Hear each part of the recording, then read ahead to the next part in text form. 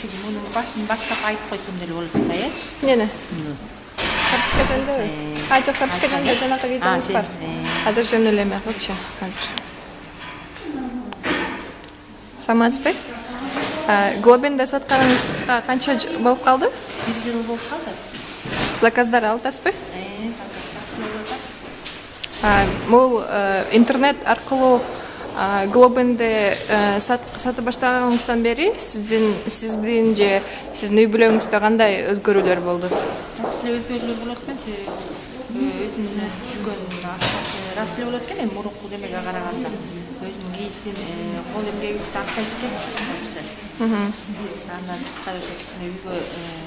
керектер үйгө майда чүйдө балдарга